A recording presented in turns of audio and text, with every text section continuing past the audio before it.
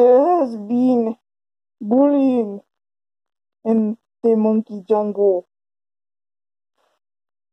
There was many banana guy. He was mean monkey and he had many bananas.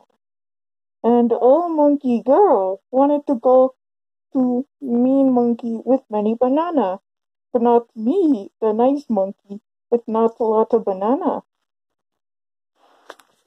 I think my dad is going to take away my Snapchat.